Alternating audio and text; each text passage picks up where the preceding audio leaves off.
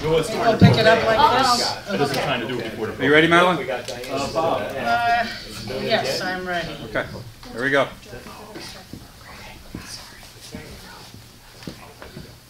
So, good evening, everyone. Um, uh, My name is Madelyn Hoffman. I'm the chair of the New Jersey Peace Council and also a former candidate for U.S. Senate on the Green Party ticket in 2018.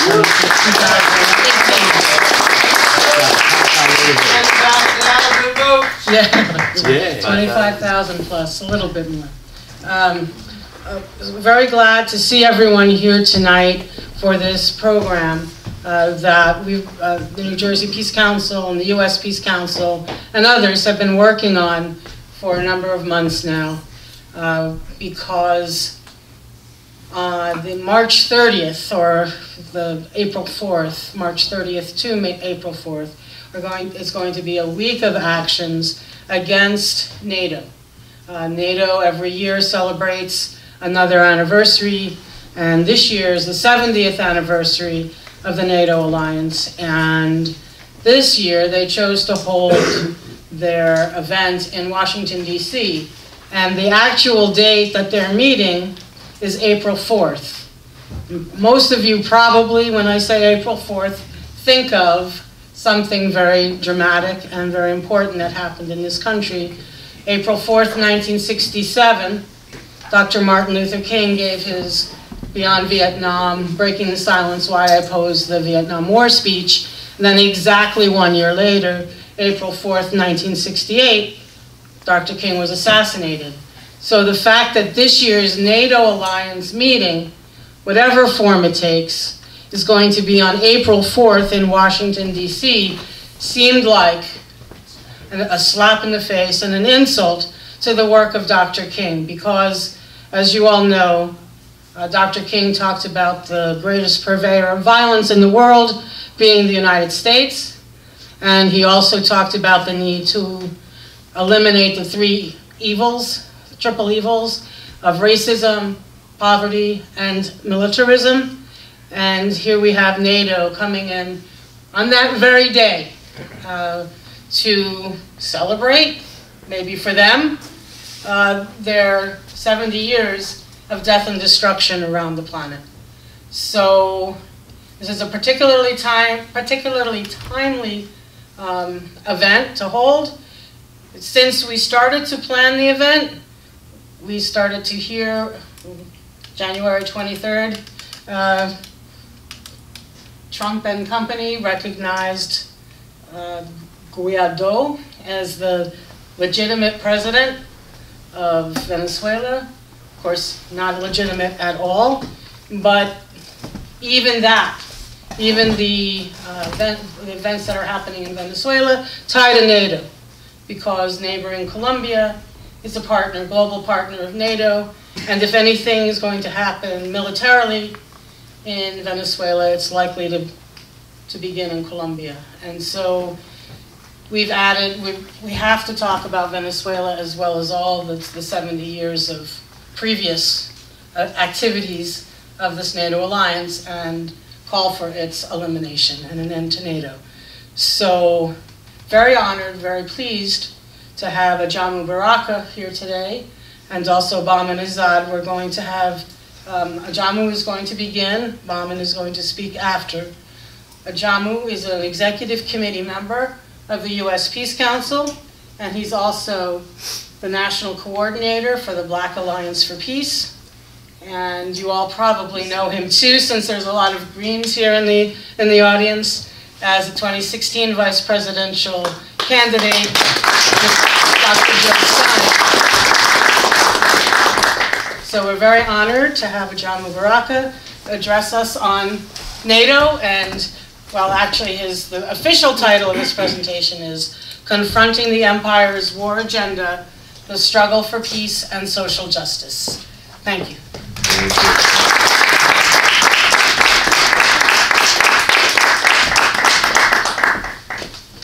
Thank you, thank you, Madelyn. And um, thank all of you for coming out this evening uh, for, we hope to have a very uh, important and very um, rich conversation.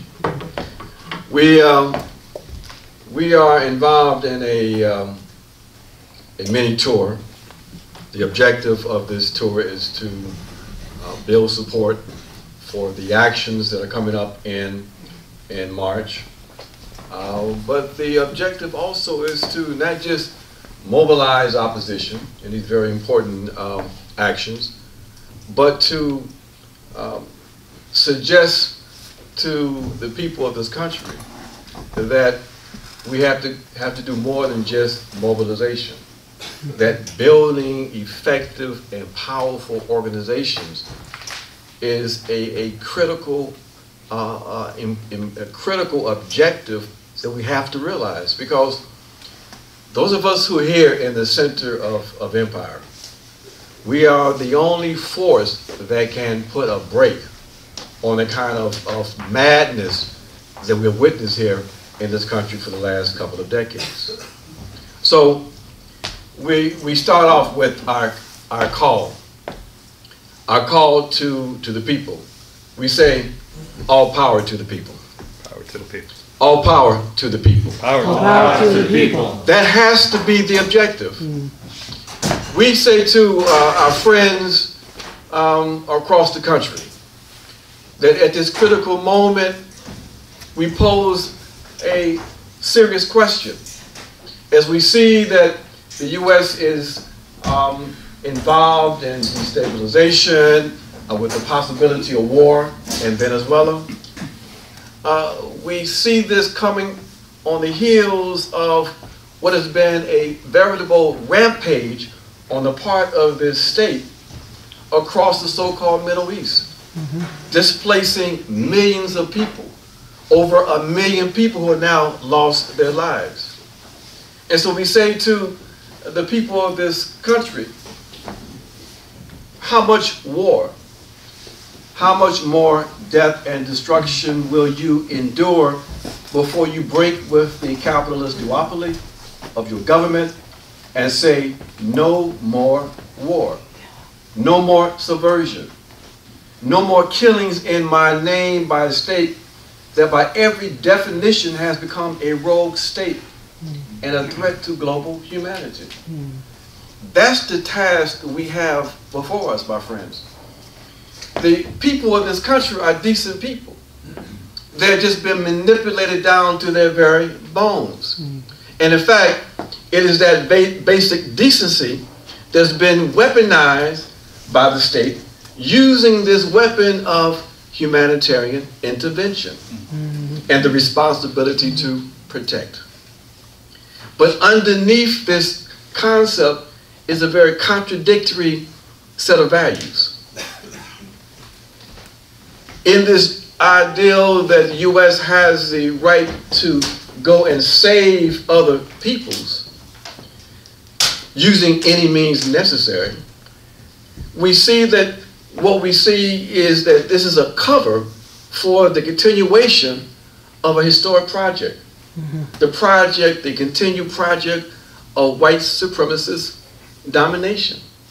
And the very fact that a, a, a argument can be made that the U.S. has a right and a responsibility to go into a sovereign nation unilaterally to determine to determine the leadership of that state without significant opposition from the U.S. public, it really uh, reflects the level of, of not only depravity, but also the extent in which these notions of the U.S. having that kind of right and responsibility has been inculcated in the culture and in the consciousness of people here in this country. The very fact you have this kind of move, which is objectively a, a gangster move. You, we might recall, and if you don't recall, you may have, uh, have studied in history. How many people know about or remember or studied the um, uh, Bay of Pigs, the invasion of Cuba by the U.S.?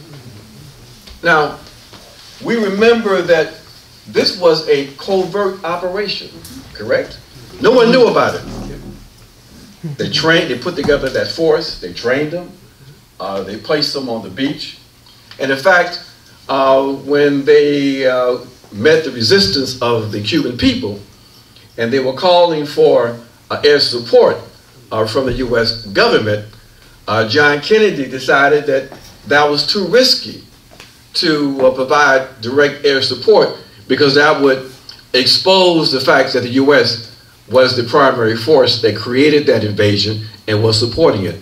They wanted to perpetuate the fiction that this was some kind of independent action on the part of 1,500 Cubans. Fast forward to today. They don't have to operate in the shadows.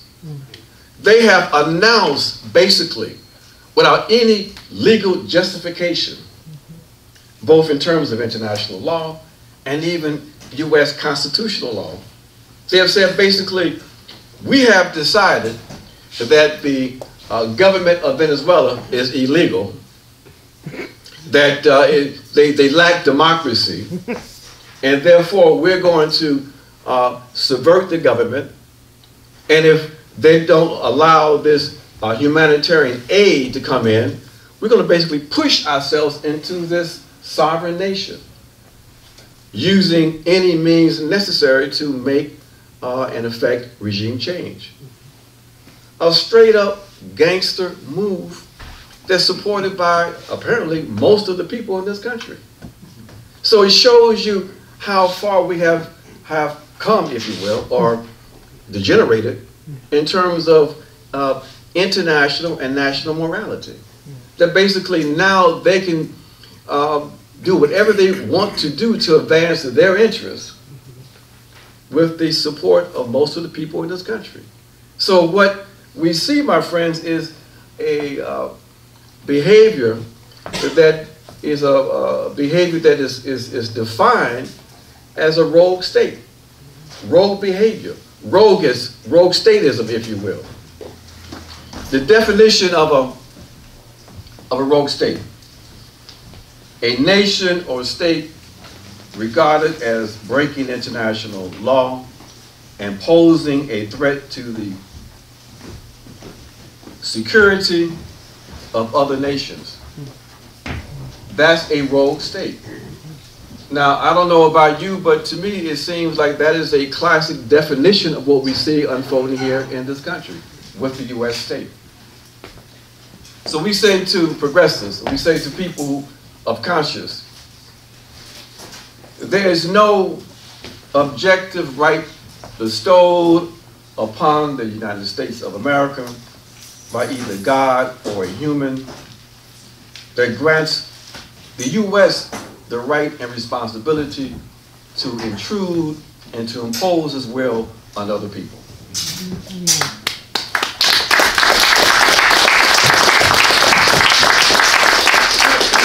We must categorically reject, categorically reject this arrogant white supremacist assumption that the U.S.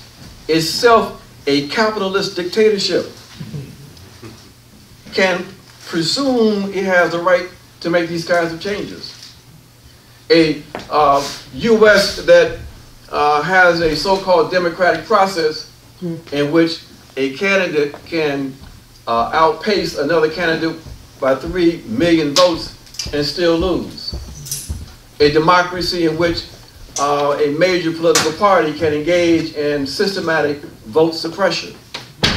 A democracy in which a so-called constitutional right or constitutional protections against an oppressed national uh, minority through uh, name the Voting Rights Act can be eliminated with no opposition. A democracy in which they engage in systematic voter suppression, where people are sent to prison, and when they come out, they have they no longer have the right to participate in the so-called democracy. If the U.S. was concerned about democracy, the first place they should be looking at is here in this country.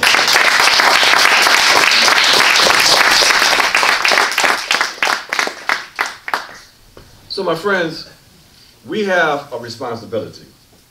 We have to build a movement. Uh, we have to shift power from these maniacs uh, to the masses of the people. That is why we started to engage in the process of building this Black Alliance for Peace. The Black Alliance for Peace is an organization that's committed to peace, of course. What rational person would be opposed to peace? But we understand that there can be no peace without justice. Therefore, this alliance is a fighting formation. We understand that we're not going to have peace as long as power resides in the hands of these maniacs. And we're not just talking about the Trump administration. That's an easy target. We talk about the fact that Trump is no more than a symptom of, the, of, a, of a disease. That this uh, oppressive system is based on the bipartisan collaboration of both of these capitalist uh, racist parties. That both of these parties uh, uh, support the imperialist agenda. That's why there's no opposition to this gangster move on Venezuela. The Democrats uh, criticize Donald Trump. They call him everything you can imagine. But when it comes to a move against Venezuela or uh, a concern about whether or not Trump might uh, strike some kind of peace deal with uh, North Korea, then basically, you know, either they will support Trump in Venezuela or they'll try to undermine him when it comes to a situation like North Korea. So he's a liar and a charlatan, but when it comes to him declaring that he has a, a, a concern about the humanity of people in Venezuela, then we're supposed to believe that. I mean, it's absolutely absurd. But yet you see that all of the corporate media that go along with that, they're basically uh, pushing the notion that uh, uh, Trump is correct on Venezuela. Um, and it's only a few people in the, in the uh, Congress, a few uh, Democrats, that have spoken out on this situation in a very strong and clear way. But they are in the vast minority. So we've got to understand if we are concerned with peace, if we are opposed to this kind of, of gangsterism um, that is, is motivated by imperialist objectives, the only force that can put a brake on this kind of activity is in fact the people. So we started building this Black Alliance for Peace. The Black Alliance for Peace is a organization that is against war, repression, and imperialism.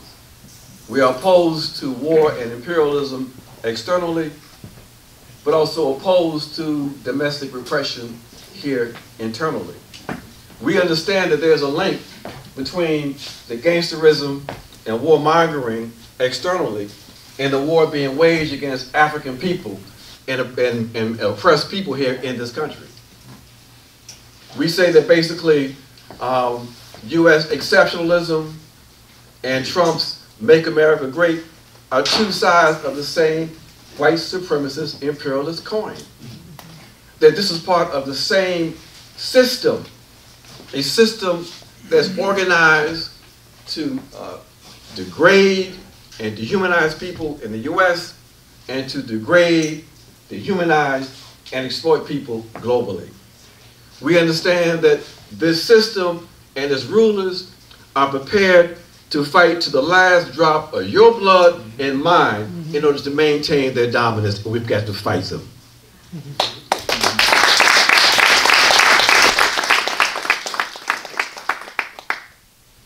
So we're not just concerned with U.S. imperialism. We're concerned with the entire uh, structure of dominance. We are opposed to the bipartisan uh, pivot to Asia. We're concerned with and oppose the uh, rotating of NATO troops on the borders of Russia. The destabilization uh, and militarization of Africa under the U.S. Africa Command. We are opposed to the role of the Israeli state in providing training to hmm. police forces across this country.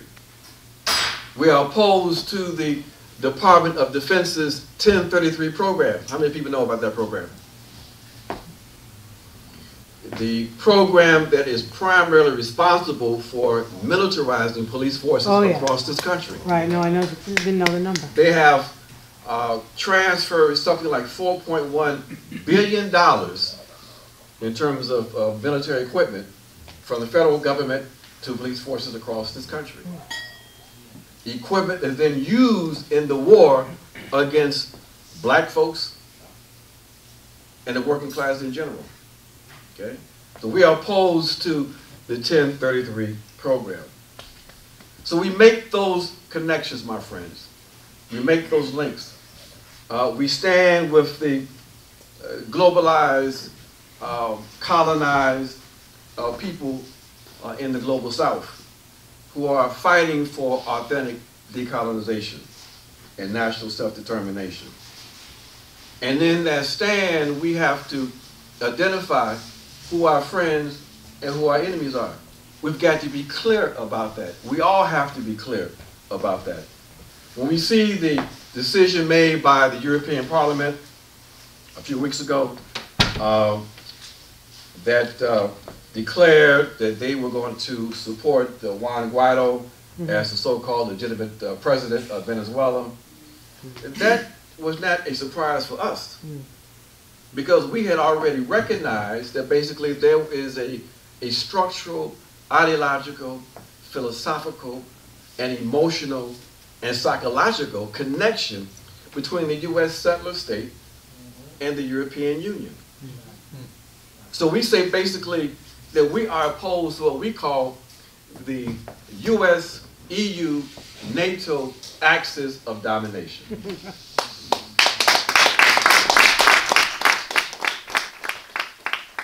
That is, my friends, the common enemy.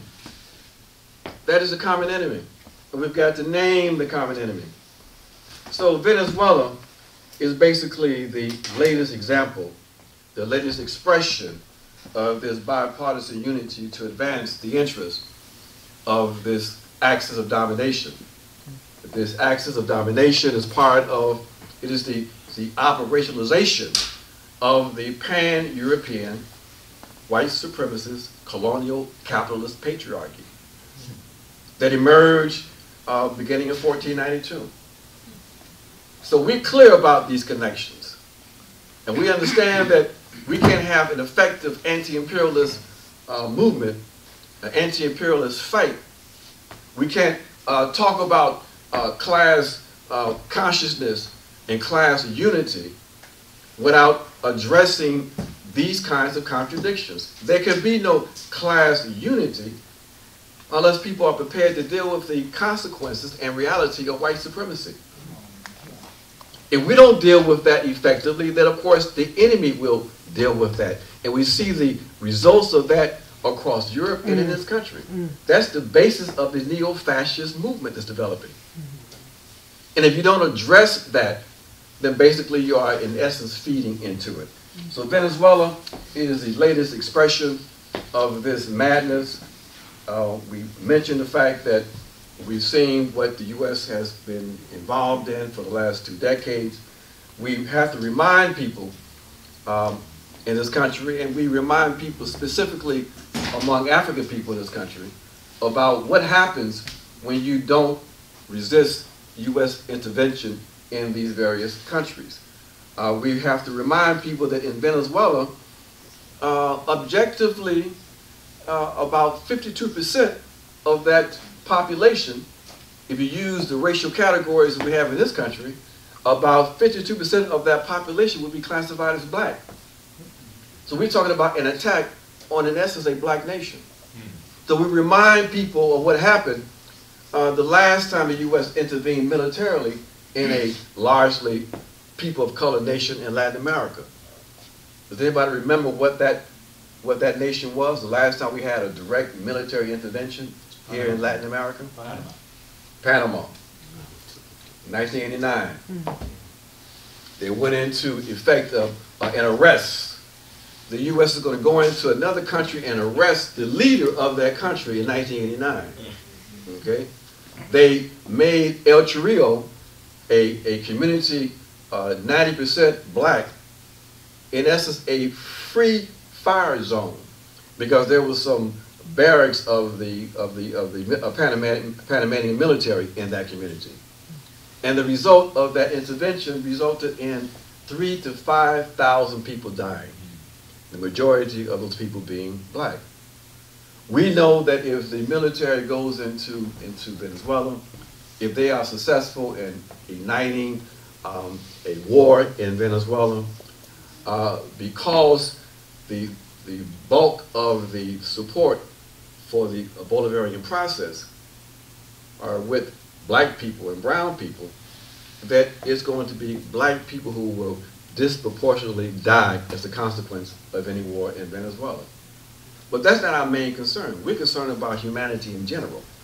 Well, we- we have to let people understand the racial component of this also. This is, these are just objective realities we have to deal with. So we have to fight back, my friends. We have to build this movement. Uh, we've got to uh, find the basis of unity across the various struggles. Uh, there are things that are being organized right now uh, to assist us in this fight back. Um, the immediate um, mobilization is taking place March 16th in Washington. Uh, many of you may have heard about that. This is a, a, a national mobilization to oppose the intervention. We have a Uh, bus. And there's a bus being organized here uh, in this city, and that's fantastic. Uh, two weeks after that mobilization, we are organizing a, um, a, a, a, an event in Washington again on March 30th. We'll have a the- bus, but at least one. There you go. That basically what we Thanks, have to do. We are targeting NATO. You know, we said NATO's part of this axis of domination, okay? So March 30th, we're going back to DC as part of our opposition to NATO, okay? Um, This work that we're doing on NATO to oppose NATO as a white supremacist structure, uh, again, it's part of that axis of domination. Um, It is part of a, a effort that we have organized uh, uh, with other uh, groups here in this country uh, to create a coalition that is targeting NATO, an international campaign to oppose NATO and all of NATO's bases. That campaign um, emerged out of a coalition that was built here in this country, and Bahman's going to talk about that some more uh, a conference we had last January, uh, in which we came out of that conference with a new coalition, the coalition to close all U.S. foreign bases. And then the, the international campaign came, uh, came, what was organized in November of last year. And out of that conference, we came out with the international campaign to close all U.S. uh, foreign bases and NATO bases. So these are the efforts we have to engage in, and the activities between March uh, 30th and April 4th are activities to help to educate people in this country on the role of NATO uh, and to oppose NATO and to build support for all of our work around closing NATO, shutting down the AFRICOM or the U.S. Africa Command, make, making the link between uh, imperialism and domestic repression. Uh, these are the kinds of things we have to do in order to, to build an effective fight back uh, to oppose this madness. The last thing, and I'm going to sit down after this. Whatever one's uh, opinions may be about, uh, related to the electoral process, uh, we think in the Black Alliance for Peace that if we're going to defeat those triplets of racism and, and materialism and militarism, um, we've got to make this issue of war and militarism uh, an issue in the national discourse around the electoral process in 2020.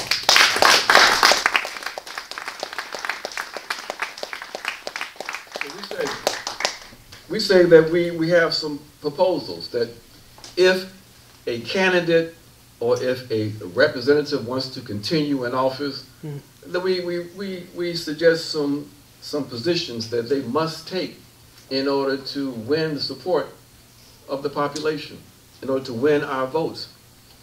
We say that all candidates must support efforts to cut uh, the military budget by 50% as a start.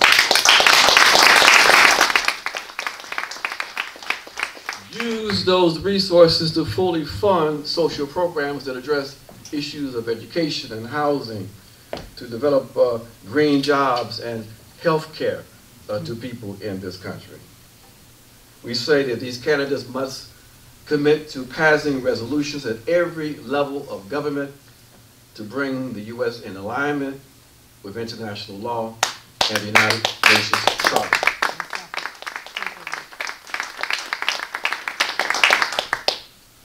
We say they must promote the closing of the over 800 to 1,000 bases, U.S. bases.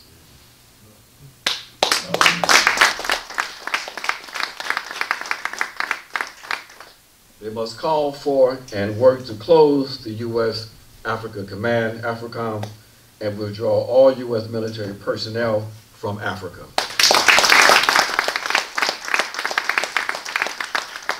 They must commit to, in, to ending the uh, militarization of police forces through the Department of Defense 1033 program.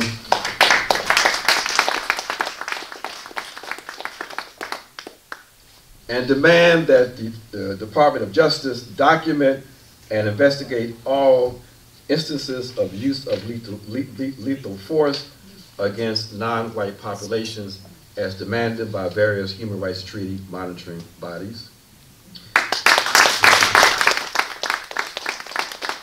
And they must advocate that the U.S. adhere to the United Nations resolution of July 2017 to eliminate all nuclear weapons globally.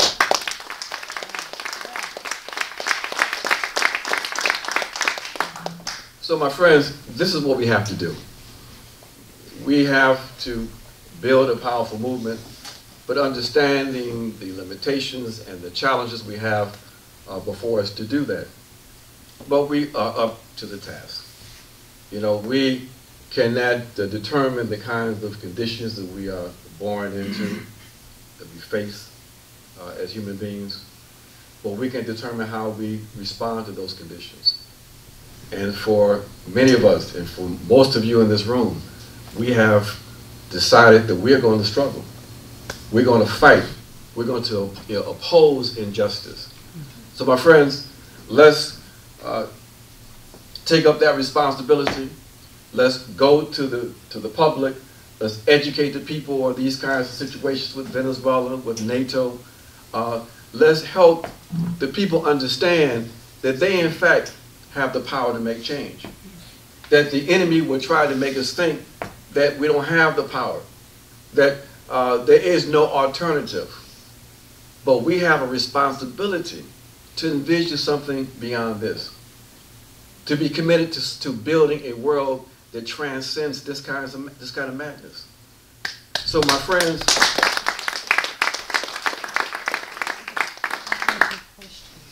we are clear about what we have to do. Let's go out, let's do it, let's build this movement, and let's win back this world for ourselves. Right. All right.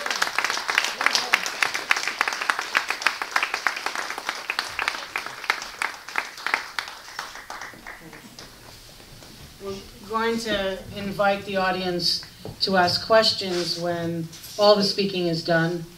Uh, we only we only have two speakers, so it won't be another hour or two before questions. But if you have the questions, jot them down so you don't forget. Um, and you know, we were talking about this a little bit before. Uh, there's another war on the horizon that most people are not talking about, and that's India-Pakistan.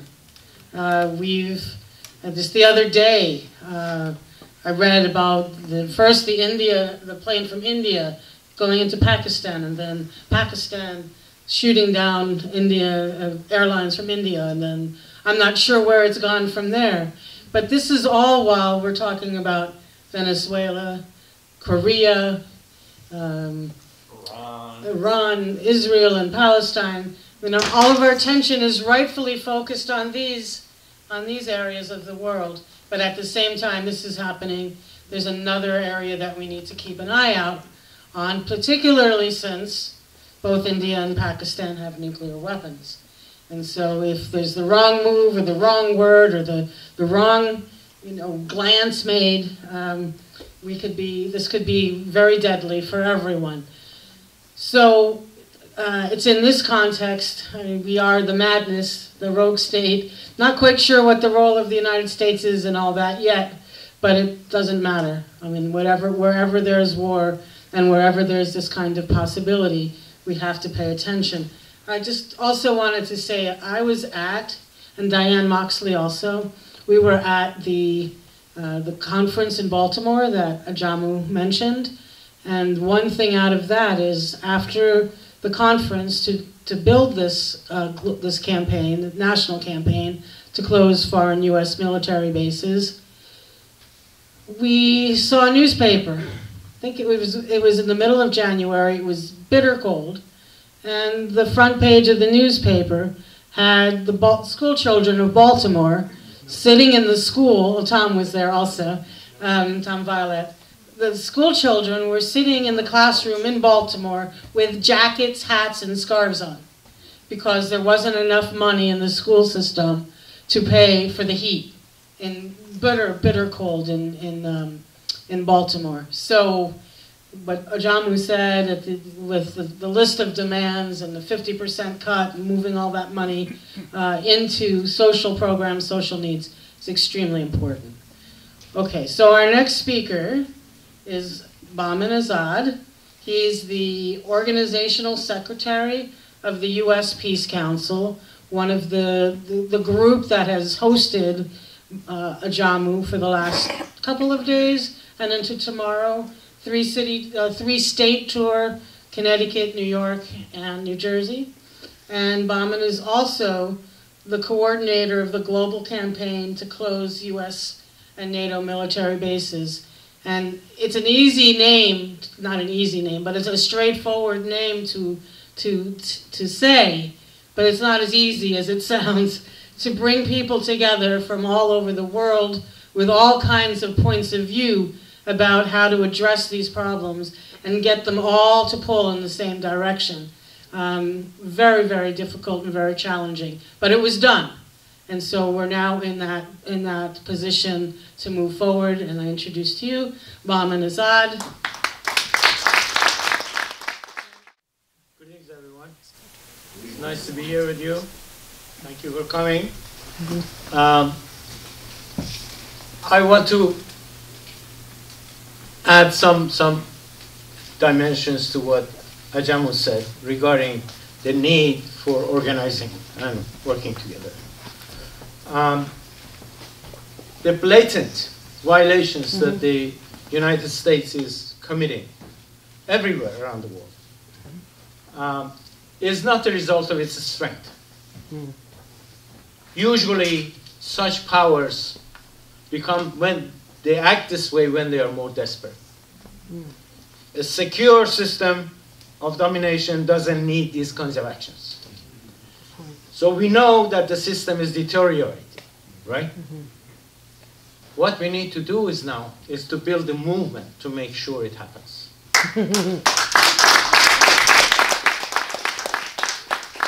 and this is what we have been doing, especially the U.S. Peace Council. And I want to bring that to you the background of where, how we managed, because it was a difficult task, as Madelyn mentioned. One thing we should remember, a minority, oppressive minority, organized, can always rule over a majority unorganized. Mm. And this is the situation we're dealing with. And we, that shows the path to, to solving the problem we're facing. And Ajamu emphasized that and mentioned that, and I think uh, I'm building on top of that. Well, our peace movement, I think there's a lot of sincere effort happening all over the place in the United States. A lot of dedication. One problem. We are acting as separate contingents. We, do, we are not a unified force. And that is our weakness. A lot of our energies are lost in the middle of this separation. And this has been the motto of U.S. Peace Council from the beginning. And I want to mention additional dimensions to it, just to set the stage for what I'm trying to say. And that is the U.S. Peace Council that we're working on. U.S. Peace Council has certain features that a few other organizations have in the United States. And I want to mention that. I reduce it to three, at least. First, it's one of the few anti-imperialist peace organizations in the United States. There is a difference between fighting against injustice, but not knowing who the enemy is, and knowing where it's coming from, and focusing on where to attack, what element, what force. Understanding imperialism is key to the success of the peace movement. That's one element. The second element is that the US Peace Council is a part of a global movement. US Peace Council is a member of the World Peace Council, which has an observer status in the United Nations, and I'll be representing them in the UN. They were formed, the World Peace Council was formed after World War II to stop any possibility of another war like that, maintaining peace, and fighting nuclear weapons, the developments that have happened. We are part of a network of close to 100 national peace organizations from different parts of the world. And we are acting as a unified international force. That is very important because if you know, I'm sure you know, imperialist forces work in unison. Mm-hmm. They are well organized. They are working together. EU, NATO, United States, right? Act as one, everywhere. But we are not. So we need a global peace movement that is unified. That's why U.S. Peace Council is part of this global network. I would say none of the other organizations, peace organizations in the United States are linked internationally that way. Finally, understanding the centrality of the concept of imperialism, which for us is a system, it's not this leader or that leader or this party or that party, because for the past decades, whoever has been in office or in control has for, followed the same imperialist foreign policy all over, right? So it's not based on that. It's the system that makes that kind of requirement that the leaders have to respond to. Look at, look at how the system responded when Trump said, I want to pull out the US mm-hmm. troops out of Syria. It is the system that's resisting it. Right? Knowing all that, knowing the need for unity, US Peace Council has always operated on the principle that the unity of all forces is a precondition for the success. None of us can do it alone. No single organization or group of organization, neither just left or center can do it. We have to bring forces together. And this has been the agenda that, for us ever since it was formed and the US Peace Council was formed. Now, it is based on that principle, these principles, that we, when this US, the, the process that we are in right now, when the US attacked Syria and started to impose a regime change, we tried to approach other forces in the peace movement. Let us work together, unite, and fight against this intervention. But you know what kind of response? Of course, there were forces like Black Alliance, like um, I mean, elements of Black Alliance at the time. It didn't exist, I suppose, right? Um, Ajamu himself. Um, other forces that work closely with us, Veterans for Peace. Um, they joined us. But the rest of the peace movement, the center forces, what we call them, refused. And you know what their excuse was? Both sides are bad. Assad is bad, US is bad, we don't want to take sides. So silence was the result. Right? But what they missed was a pattern that has been happening throughout. Look at previous wars.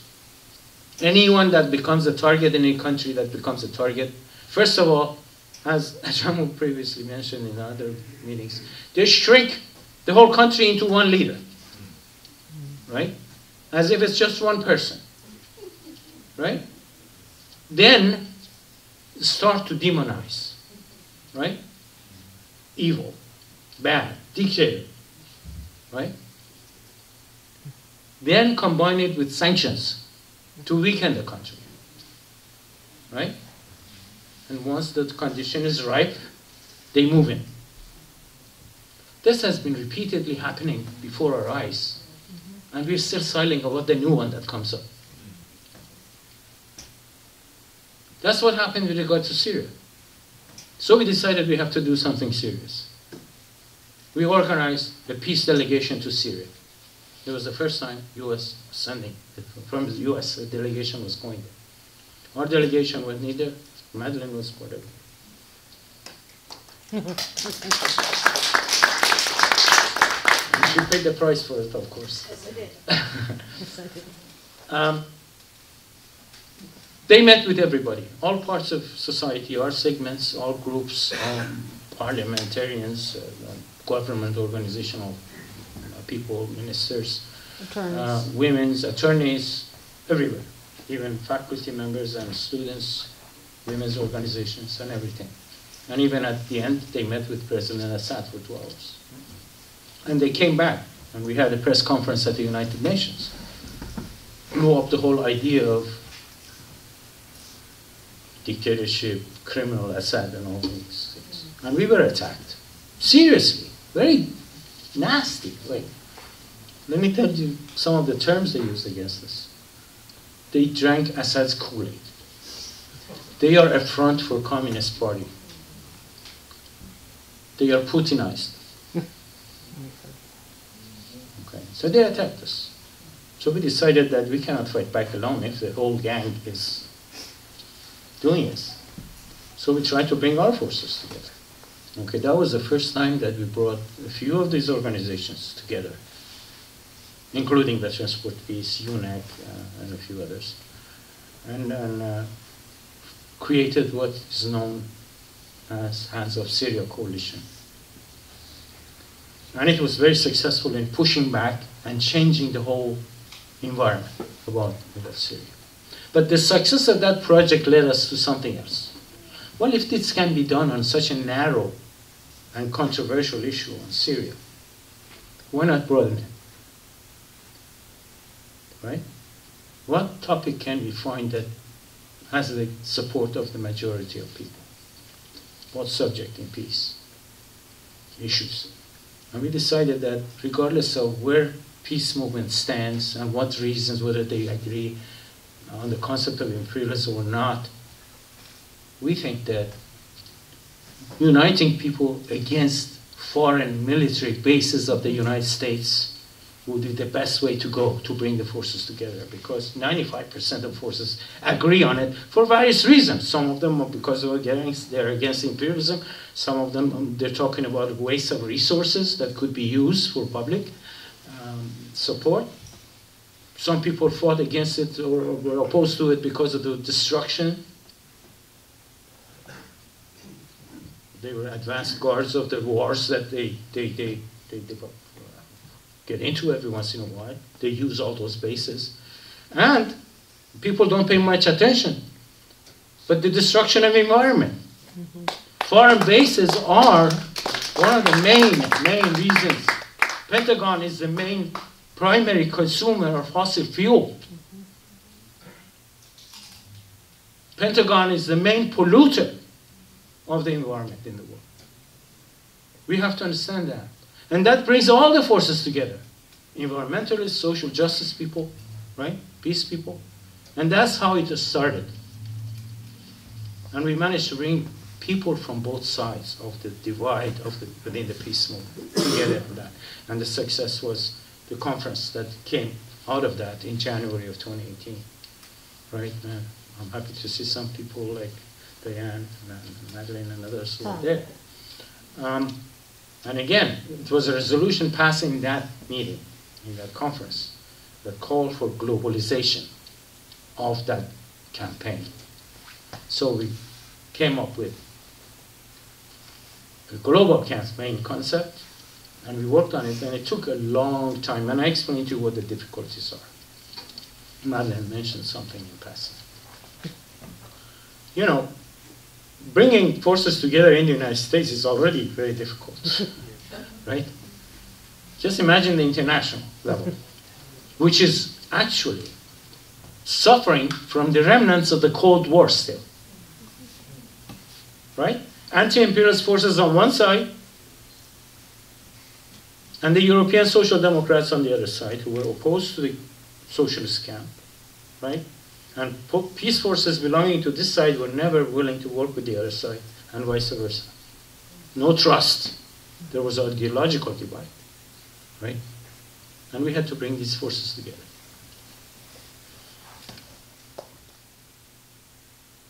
We fought, we argued, we insisted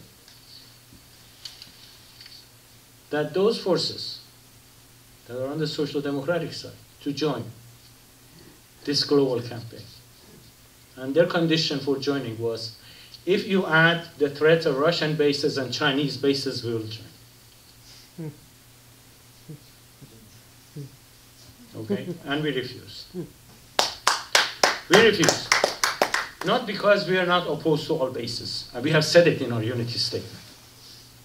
But because we consider NATO and US as the main threat. The most urgent thing that we have to respond to. It's not Russia waging wars across the globe. It's not China. It's the United States and NATO. 95% of all bases around the world belong to US and NATO. Okay, I think some of the speakers or you mentioned, NATO and US have 20 times more bases than the rest of the countries combined in the world. So that's the main threat. But the negotiations went on and on and on for six, seven months. And finally, after a lot of sub-organizations of their network joined us, they realized they're left alone. So they finally signed on and came to our Dublin conference. That was the most important, significant victory toward the unity of the peace movement. And we are trying to build on it. Okay. Um, of course, we have been a bit delayed because of all these urgent emergency things that come up. Right?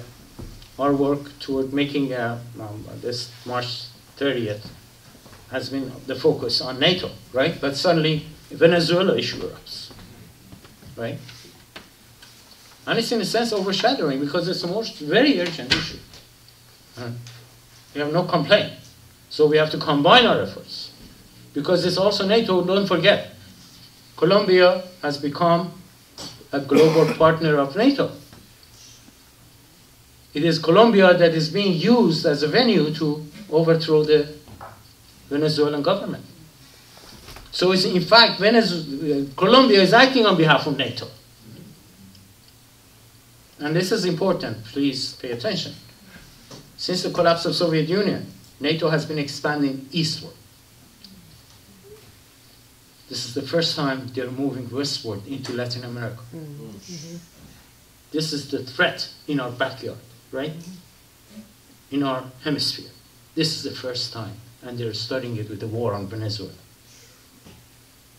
So in many ways, Venezuelan issue is directly linked with NATO and, and, and, and EU and, axis of domination stuff. So we have to deal with it together, and that's what we're trying to do. I want to mention a couple of events and close, and then let you. Uh, one, World Peace Council is having its own anti-NATO conference on 31st of March in Washington DC. They usually have that. Every time NATO has a meeting, they have their own counter meeting. So we are organizing um, that conference. We have delegates possibly, or we know for sure, coming from Argentina and other places, from Nepal possibly. They are looking for visas if they allow them to come in. Uh, we have a lot of good speakers, including Ajamu Baraka. Um, Gerry Condon, President of Veterans for Peace. Um, Kevin Zeese, Margaret Flowers, Margaret Kimberly, hopefully, if her work allows, and a few others. So it's going to be a high-powered anti-NATO conference from 3 to 7 p.m. on Sunday of that weekend. the second most, I mean, not the second in terms of importance, thing I want to announce uh, is that the U.S. Peace Council, based on that whole concept of unity, we have put together a second delegation, peace delegation, to Venezuela. They are going to Caracas from March 10th to 15th. Again, Ajamu is going to be leading that delegation for us. Kevin and Margaret are going to be on it. Uh, Joe Lombardo, Sara Flounders, um, Gerry Condon. We have labor leaders going. The president of Women's International League for Peace and Freedom, U.S. section, is going to be on it, and a few others. 15-member delegation is going to Venezuela. Okay. And we had a press conference yesterday, right, at the United Nations. You can find it on UN Web TV. And it's on US Peace Council website and our Facebook page. You can see that and watch it. I'll give you a few email addresses, I mean, web addresses for this. Our website is uspeacecouncil.org. Our Facebook is facebook.com slash uspeacecouncil. Our anti-NATO campaign is no number two NATO2019.org. We'll keep updating this information uh, areas, and please, if you want to follow. And lastly, I want to invite all of you to join the U.S. Peace Council. Madelyn is trying to build up our forces in New Jersey, and I'm sure she will be happy if you all join. Thank you very much.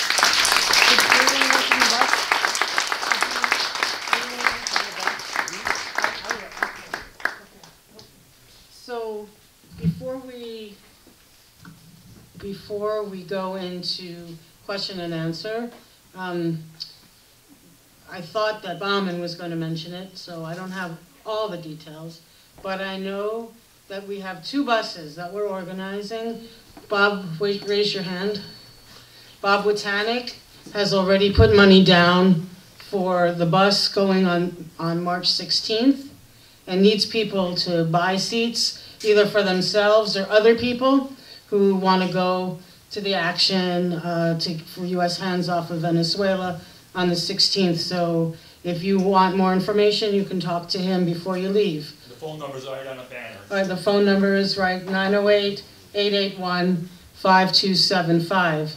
He also put down, or Will. will, if we, if we agree to it, not as a general body, but if we talk, some of us talk about it later, put money down for um, March 30th.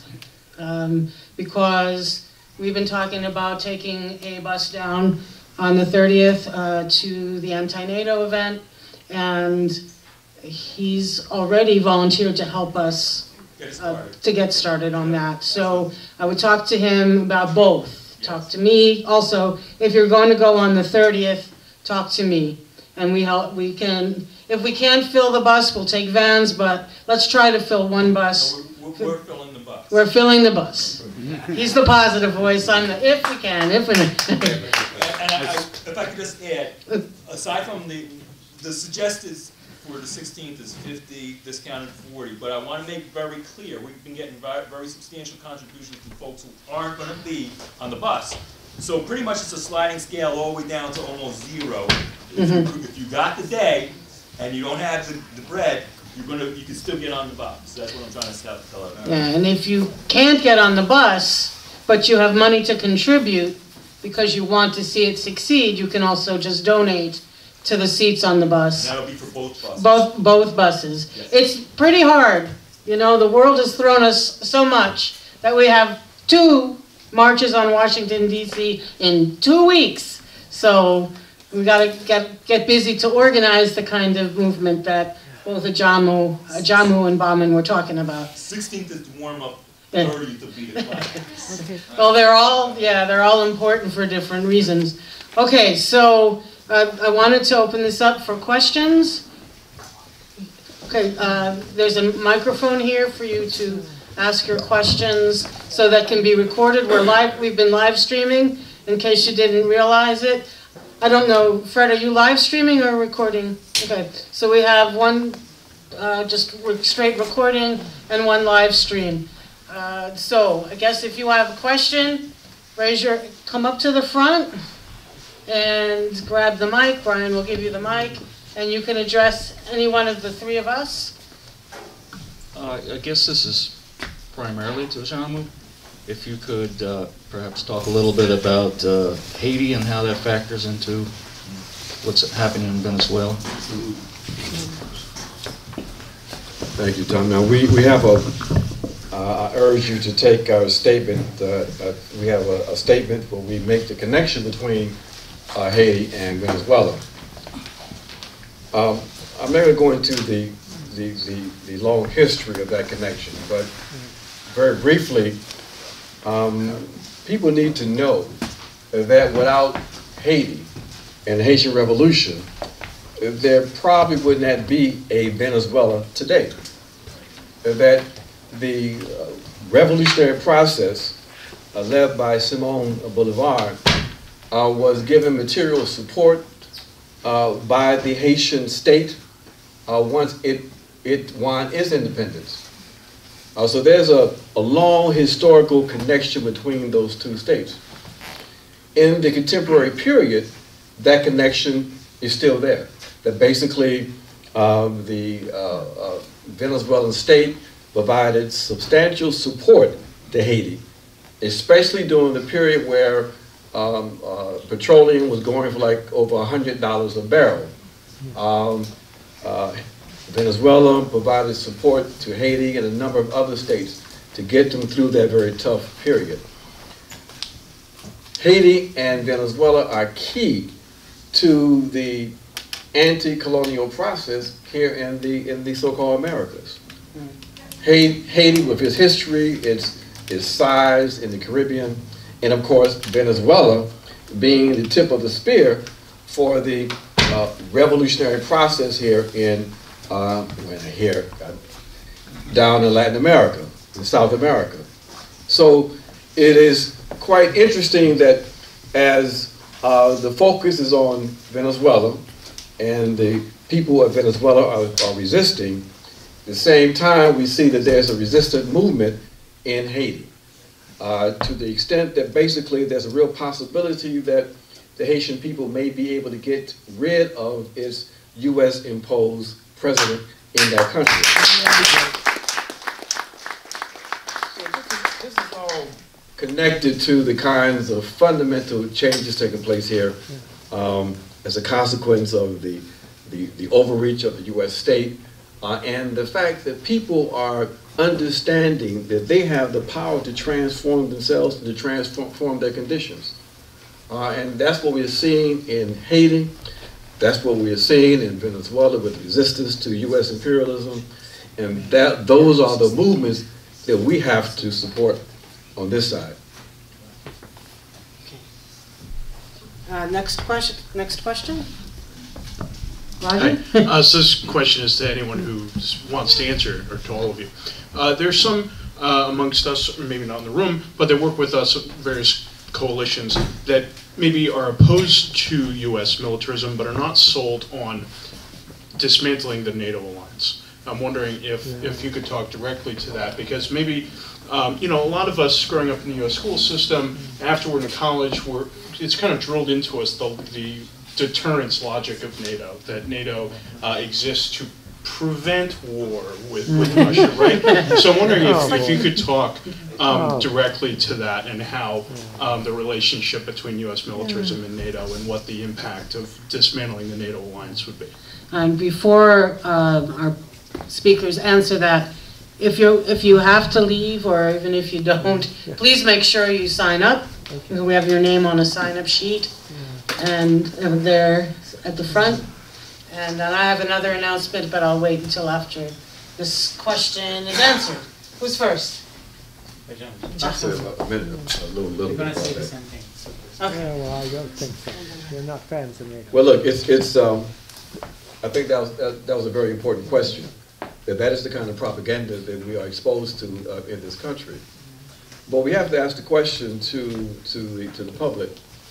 Do you, do you understand the original uh, mission of NATO? Oh, yeah. And even if you understand the mission to be uh, uh, a mission that was supposed to be in opposition to the supposed military expansion objectives of the Soviet Union, why do we still have a, a NATO when the Soviet Union has disappeared? Right, right. Twenty-eight years ago. We see that basically it, the, the elimination of, of, or the disappearance of the Soviet Union and the continuation of NATO really exposes the real nature of NATO.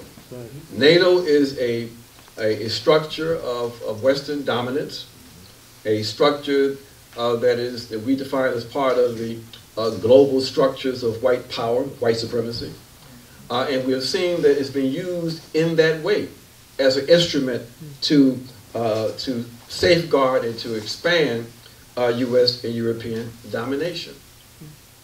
The attack that uh, took place uh, on the African continent, destroying the most prosperous nation on the African continent, Libya, was a U.S. and NATO operation. What does NATO have to do that's supposed to be defending Europe in Africa? Well, because it's the tip of the spear for U.S. and European imperialism. So dismantling that structure is a, is, is a, a primary objective of anybody who is uh, committed to ridding the world of these kinds of, of militaristic uh, uh, uh, organizations. That if you really believe in the possibility of peace, then you have to, we have to delegitimize these kinds of structures. And we know it's a very difficult task because, you know, part of the confusion in this country uh, related to the role of Donald Trump is that anything that Donald Trump may be opposed to, then uh, the Democrats uh, and liberals uh, and, and uh, radicals who really are liberals uh, will then uh, side with. So if Donald Trump is raising questions about, about NATO, then the Democrats will say, well, we support NATO. Well, yeah. In fact, we're going to pass legislation Yeah. to make it impossible for the U.S. to withdraw from NATO. So part of what we have to do as we prepare for March 30th is to, in fact, educate the public. Not just for March 30th, because we won't be able to successfully do that uh, before March 30th, but after March 30th, to expose the true nat- nature of this, this uh, uh, structure uh, and to suggest to people who are committed to peace, who are uh, who understand the importance of, of taking a, a position against uh, imperialism, that we've got to oppose NATO. Yeah, Sure. I would like to add another dimension to this. Um, NATO was created so-called to defend Europe against possible Soviet invasion. Yeah. Right? Um, NATO, Soviet Union doesn't exist anymore. Yeah. Russia is a capitalist society like the United States, Right. right? Yeah. They're just competing with each other. Yeah. They're not enemies. So the threat is not there. But NATO is still there. Not only that, it has grown, expanded. For what? They're redefining their mission now, creating a new one for themselves to survive. But I want to add one dimension to it. The boss of NATO is the United States. Mm-hmm. Yeah. right? Right. These others are just tentacles of the octopus. But there are conditions. If you want to join NATO, you have to spend a certain amount of your GDP on military and on weapons. Right? Mm-hmm. So, I don't think Colombia, as a, as a partner of NATO, can push for a war that the United States doesn't want, right? To follow its own. They are all listening to what, where US wants to fight. But they have to pay for the war that the US wants to fight, hmm. right? So they are taking away the resources from their own people. It's become a source of exploitation of the populations. And who, where does that money go to? US armed manufacturers. Right? It's another extortion. Why should they exist? That's the question. Hmm. People don't know this. People of Europe know very well from, about this. But in the United States, in the belly of the beast, people don't know because that's exactly a, a secret that must be kept.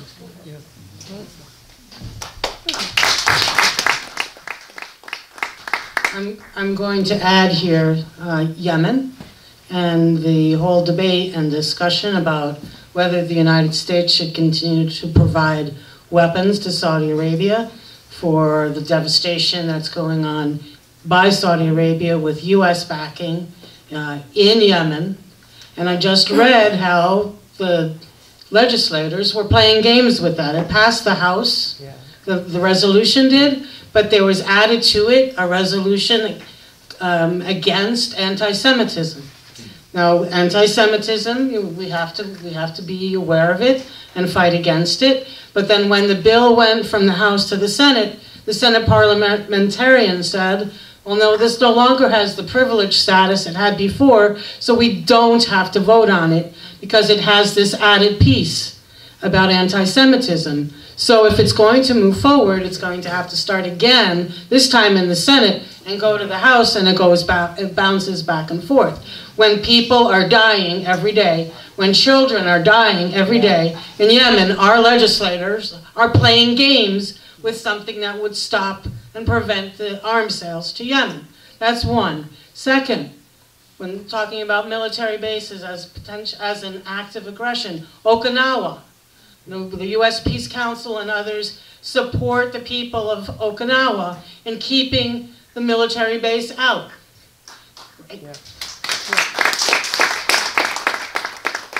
The people of Okinawa just voted overwhelmingly to keep it out. Did the United States pay any attention to it? No. So where is this democracy that we claim to be exporting around the world? It, do- it doesn't exist, and it doesn't really exist here at home either. So I do also want to just, um, can't ask people to speak, but I wanted to acknowledge, see if I get this right, the new African Black Panther Party is, is in the room.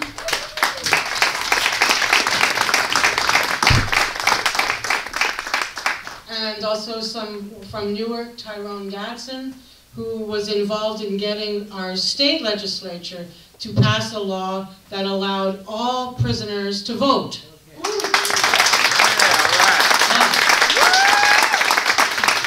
Bi- Bipartisan support, you don't get that very much anywhere. Um, and then, of course, there are Greens and other people here, Communist. Communist Party, okay? Okay. and uh, you know, communist and Greens, and I don't know who all else is here. But we, hmm? Listen, we, but we thank everybody for coming out, and I'm turning to Matthew, correct? Yes to ask another question. And we have this room till nine, right? Not yet. Yeah, nine. Until the sun comes up. Don't tell us that. Oh, and also I need to put in a plug for New Jersey Revolution Radio. Yeah. Uh, Who's live streaming this and who's live streamed so many events that mainstream media will not cover at all. And they're hurting for money too, just like all of us are hurting for money. So if you have any extra you can spare, I know they'll appreciate New Jersey Revolution Radio. Uh, where would they find that on? www.njrevolutionradio.com, right on the banner over there. Right on the banner. So those of you watching the live stream can also contribute. Those of you here can contribute. Um, a lot of worthy causes here tonight. All right, now Matthew, sorry. I could speak? Yes. You could hear? Okay. Sorry. So, of course, the United States, for many years, has been starting its own fires around the world, um, especially in the Middle East. Um, I, had a, I had a question. How do we, so once these fires are started, now how do we put them out?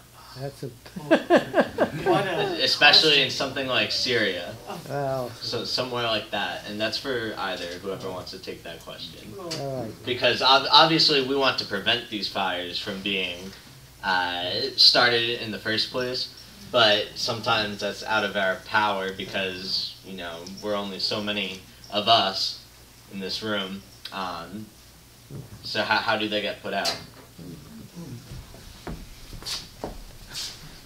That's a very important question, and really reflects the kind of uh, uh, challenge that we have. We have to build um, movement. Uh, We have to be able to make sure that uh, these wars that the U.S. is involved in, that seem so far away, so disconnected to everyday life here in this country, we've got to make those realities there, reality here. Yeah. In other words, Yeah. we can't allow for things to just go along in this normal course of events. That if you have an effective uh, anti-war movement, then we go to the streets when we have these kinds of acts of aggression. Yeah, yeah, definitely. Part of the issue we have in this country is that because uh, these wars are being, uh, they, they usually are, are air wars, uh, or if they are, if there is the introduction of, of troops, uh, the people who are fighting these wars are from the working class, uh, black and brown, uh, working class people, poor people. Yeah, sure. Uh, so the vast majority of the people in this country are, aren't touched by this. Okay? So uh, we say our responsibility, being in, in the belly of the beast, is to make uh, the rulers uncomfortable with these kinds of, of decisions. Uh, we want to prevent these wars, but when they start, we can't just say, well, it started, so, you know, we can't do anything about it, you know, and, and, and that's it. No, we've got to uh, struggle, we've got to intensify the resistance, we've got to uh, remind people of their moral responsibility to oppose uh, criminality that's being done in their name. So again, it all goes back to the absolute necessity for building powerful, progressive, radical structures here Yeah. in this country. Yeah, yeah, amen.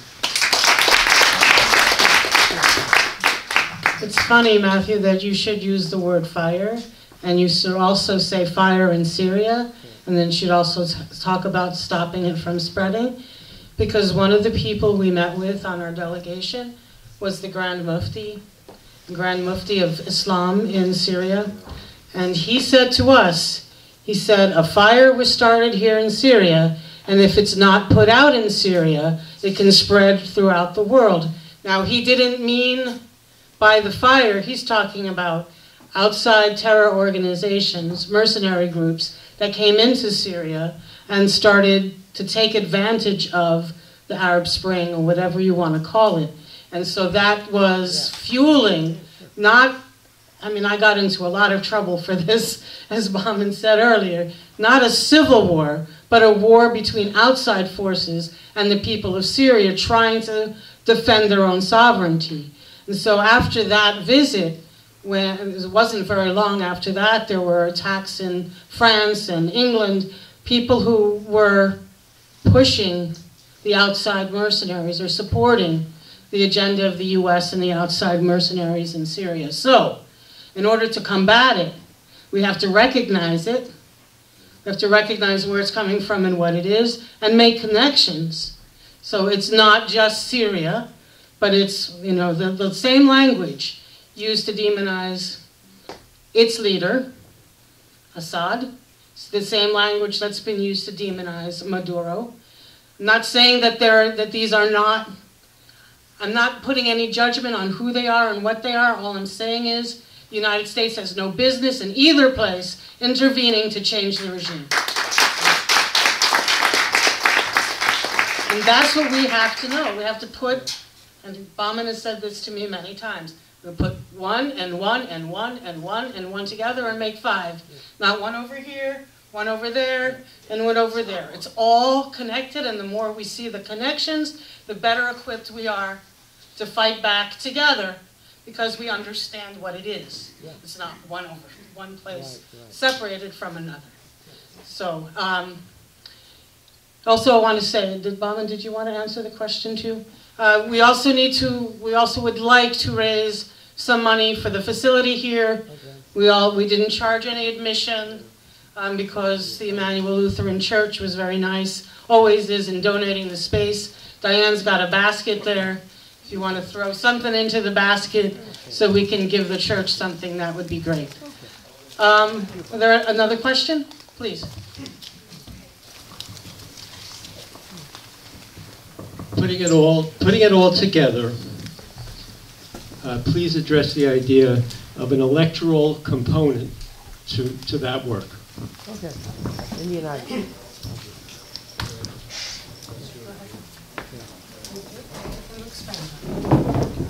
How do we deal with this? I shared uh, some components that I thought um, could be important in um, bringing attention to the issues of militarism and war for the 2020 election. Now, that, uh, those efforts are mainly in the, in the, in the field of, of a very important part of our struggle, which is the ideological struggle. But, um, you know, this engagement with the public on this issue is, has to take place now. Uh, we have to try to make it a, uh issue in 2020, and we have to continue to make it an issue. Now, if we, uh, if we see that the best route to do that is to um, engage the electoral process, then that's something we would need to, to, to consider and develop the kind of strategies we need to develop in order to do that. Um, I believe, as an individual, that that is absolutely necessary. That we cannot allow, we can't allow these um, uh, representatives, especially the ones who define themselves as progressive, uh, to be able to uh, not take definitive stance We gotta put, on whether you are with the issue of war and militarism. yeah, yeah. Right now, you could be a, a, a, a progressive, uh, uh, even a radical, and can be silent on the issue of Venezuela. That's, Yeah, that's, that's absurd. Yeah, criminal. So we have a responsibility to make this an issue uh, in the electoral process. Uh, as we build our uh, dual and contending power, uh, you know, we have to enter into the electoral process um, and force these politicians to take stances on these, on these positions. Uh, we've got to use the electoral process as an educational tool uh, to educate the people on these issues and to uh, uh, persuade them that it's in their interest to be opposed to these uh, military uh, imperialist adventures. Right. So this issue of, of war and militarism strategically has to be looked at in terms of the electoral uh, arena. But the bottom line message has to be to the American people is that war uh, and militarism is a class component, that it is a class issue, and that the people who are fighting and the people who we end up fighting against are normally, are usually working class and poor people Right. in other countries. So we've got to, to, to raise these kind of issues in that way in every arena uh, possible, in the churches, in the electoral arena, in the schools. Uh, that's the only way that we can engage in effective education uh, and resulting in building more powerful organizations. I keep on going back to that thing, my friends, because that's what we have to do. If we don't have uh, uh, effective organizations, we can't do anything. Right, right, right, right, I'm going to speak from my ex- recent experience for just a little bit because I was I was demonized for running as a Green Party in this last U.S. Senate race because I had the gall to bring up the issues of war and peace, and people would tell me, "Oh, I don't want to talk about war and peace. That's a distraction." I said, "A distraction?" Um, no, it's the key. It's the central issue because as we've heard tonight, and as you already know, war costs money. More than 50% of the taxes we pay, the, the, the discretionary, the decisions made by US Congress about how to spend it, goes to war and peace. So if you're not fighting against war or opposing war, then you're basically saying, as so many have said more eloquently than I, you're robbing communities of the money they need for the for infrastructure, for schools, for healthcare, and all of the rest. Not only did people say that war and peace was a distraction, colleagues of mine said the only ethical choice to make in this election is to vote for Senator Menendez.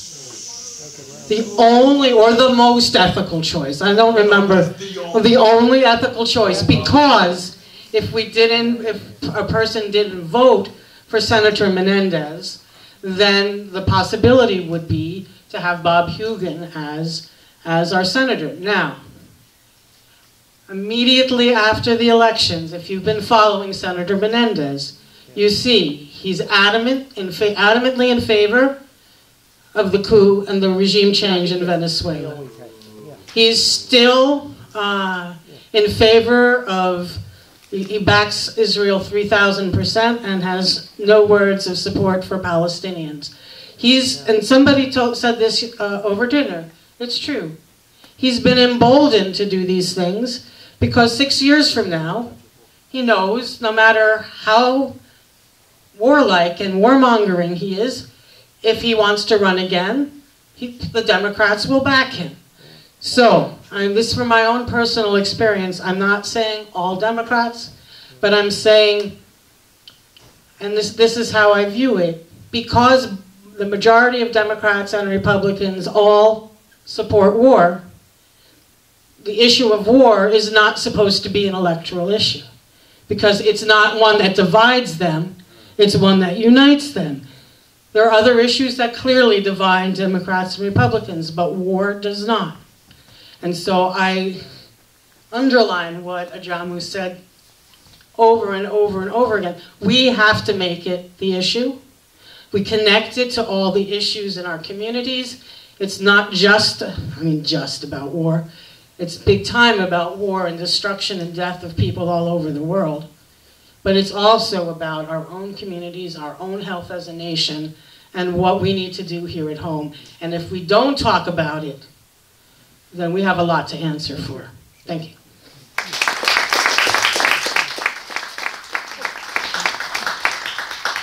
Great, question. Sure, I was hoping Ajamu can share to the audience a little bit of the shift in the agenda in South America with the Lima Group in Brazil recently, for people that might not be totally aware, because it's tough for us to get good information about this Um, up yeah. here. Bolsonaro. The, um, the rulers in the U.S. have been quite active recently in um, organizing uh, effective opposition to Venezuela and the progressive, or what we might may call uh, revolutionary process in Latin America. They went back to the playbook that they developed in Africa when they split uh, forces on the African continent uh, back in the 1960s when they created the Monrovia group to oppose the uh, uh, Casablanca group that was the progressives. Uh, and so they dusted off that playbook and what they have done is to organize this so-called Lima group of reactionary states Yeah. uh, to oppose Venezuela and the progressive motion in Latin America. Uh, using um, the Lima grouping, they have, uh, they're the ones that tried to uh, suggest that uh, the elections uh, in Venezuela were illegitimate. Uh, they uh, recognize Juan uh, Guaido as the so-called president. Um, they are the ones that seem to be in support of, of military intervention into um, uh, Venezuela. Now, the reason that the U.S. Uh, and these reactionary states are so focused on Venezuela is because of the fact that there was this tremendous uh, motion toward radical transformation in Latin America, spearheaded by the Bolivarian process. The enemy understood that if you undermine Venezuela, then you can reverse that process completely. And we were desperately trying to get people to understand why the U.S. was preoccupied in, in the Middle East, that they were going to pivot back toward Latin America. And we saw that happen beginning around 2013. By 2015, the Obama administration declared that uh, Venezuela was a, a, a, threat to national security. Why? No one can really explain why. Uh, in rational terms, we knew that politically what that meant was that uh, they wanted to undermine the process in Latin America. So they have been quite uh, effective uh, once they began to refocus on Latin America and uh, putting a real brake on the progressive motion uh, in the region. Um, Ecuador is now moving to, uh, to the right. Uh, Bolivia is more and more isolated because of what's happening with uh, uh, Venezuela. Um, Haiti is in, in, in, uprising, but they are almost by themselves. And they are focusing and get ready to, to, to, to increase the focus on Cuba and Nicaragua. So this is part of a, of a broad reactionary program uh, in Latin America. And that's why, again, we're going back to what we have to do. We've got to remind people in North America that they are part of the Americas.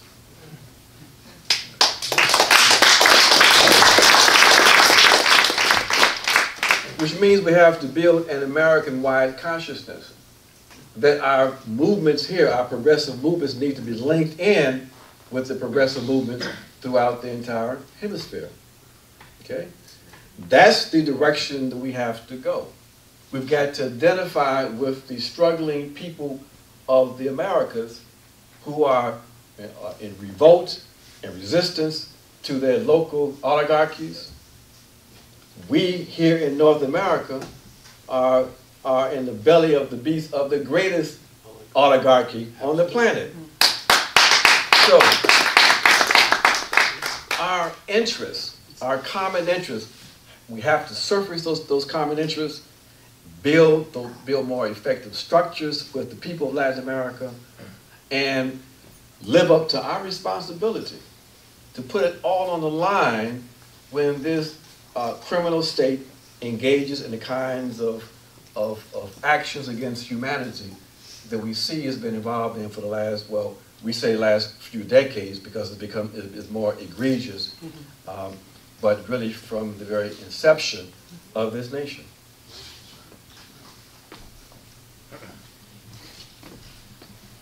Also wanted to mention that I know I, I talked about Senator Menendez, but we shouldn't let Senator Booker off the hook. we kicked his butt. What's it? We kicked his butt and knew. Right, we, we, people are also trying to get Senator Booker to make a statement on Venezuela, and he has not done so, which means he's complicit. To this point, if you don't say anything, you're complicit. Exactly. Uh, and so we do have an online petition, NewJerseyPeaceCouncil.org. If you go to, to that website. NJ. That's what I said. Oh no, I said New Jersey. NJPeaceCouncil.org. There's an online petition that is against uh, the U.S. intervention in Venezuela. Uh, and if you sign it, a copy, uh, each one of the New Jersey delegation receives notification that you signed it. So you sign it, everybody gets one. Well, you know, both of our senators and all of our congressional delegations. So if you haven't signed it yet, go online now or tomorrow or later when you get home and sign it. We got to flood these people, these elected officials, excuse me, um, with our with our points of view. Um, so that's that's one thing I, I failed to mention, and we we'll see we'll see where Senator Booker comes down on this, but it doesn't look good.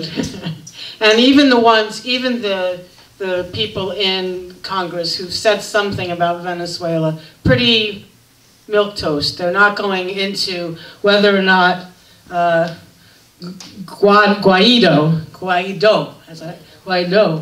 Guaido. Well, somebody said Gua- Guaido. Uh, it doesn't. You know what? You know who I mean, and I'm following what somebody told me. Anyway, um, they're not looking at that essential fact, which the United States had no right to recognize him in the first place. Illegal. You know, so so it's illegal. It has to be undone, and nobody's addressing. Nobody in the Congress is addressing that. Um, we are, and we must continue to do so. All right. Is there any? Are there any other questions? Questions? So, a lot, one more round of applause for Ajamu, and all of us who are here.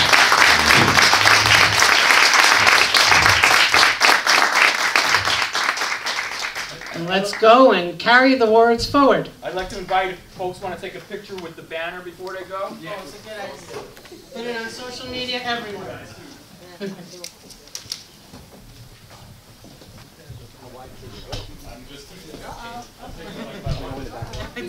Solar in the back. Call in the back.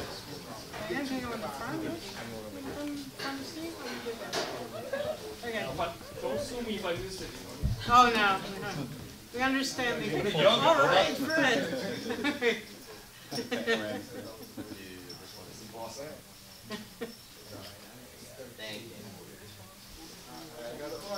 All right, good enough. Thank you, Steve. Which bus?